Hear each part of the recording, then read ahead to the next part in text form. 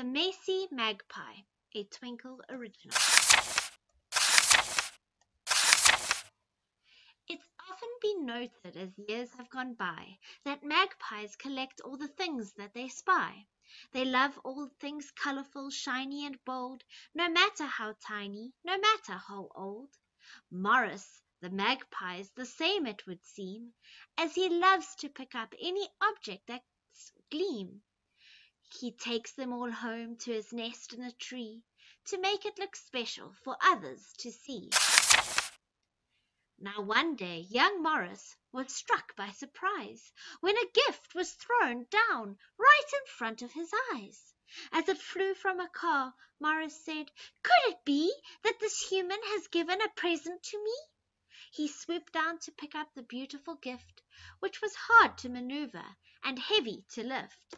He carried it home, though it took him all day. Then he cleaned up his present to put on display. He wanted to decorate all that he could, so the next day he went to the edge of the wood. He flew to the place where the gift had been dropped, where he saw that a family of humans had stopped. He hopped down to search for his gift on the floor, but he noticed that this time they'd left many more shimmering treasures, almost all the green. These gifts were the finest that Morris had seen. Each day he returned, and he couldn't believe all the wonderful gifts that were left to retrieve. His tree was soon, soon bursting, with no space for more, so he started to spread them all out on the floor.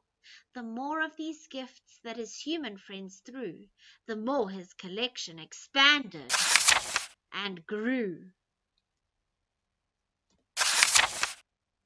Then one day, as Morris was sat in his tree, admiring the beauty of all he could see, he noticed that things were now changing below, that the plants were all dying and struggling to grow. The grass was not green like it had been before. The flowers were wilting, not bright any more. His animal friends watched in fear and distress as their homes and their food were soon lost to the mess turned to the stream, which no longer looked blue, but instead had a horrible muddy like hue. The water was flowing more slowly that day, as the big piles of rubbish were blocking its way. "Oh, no!" Morris cried, as he gasped with alarm. "I never intended to cause all this harm. The forest is damaged. The humans weren't kind. All these gifts were just rubbish that got left behind." The pride Morris felt for his lovely display was soon turned to sadness, regret, and dismay. He adored the collection he'd lovingly built, but his joy had now turned to a feeling of guilt.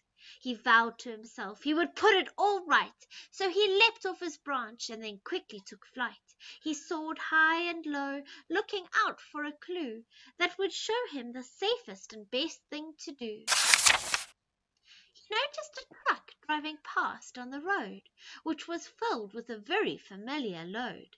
He followed the truck to see where it would go, feeling hopeful he'd find what he needed to know. Morris arrived at a bustling place, which had giant containers and masses of space.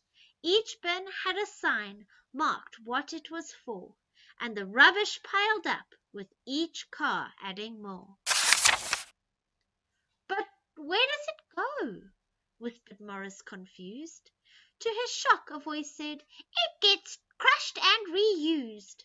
A seagull appeared, and then said with a sigh, "It's amazing what humans can do when they try." "That's it," Morris said, and he knew what to do. "If I bring it all here we can make something new. I might need some help, but I must make amends." So he called on a couple of very good friends.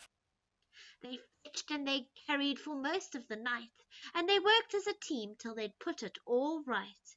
When the rubbish was gone, Morris looked all around at the stream and the flowers, the trees and the ground. He desperately hoped that he'd made enough room for the beauty of nature to once again bloom. He planted and watered and nurtured away till the forest was thriving and growing each day. Morris knew nothing would make his heart sing like the colorful beauty that nature could bring. He no longer needed the shiniest nest, and he realized that having a green home was best. The end.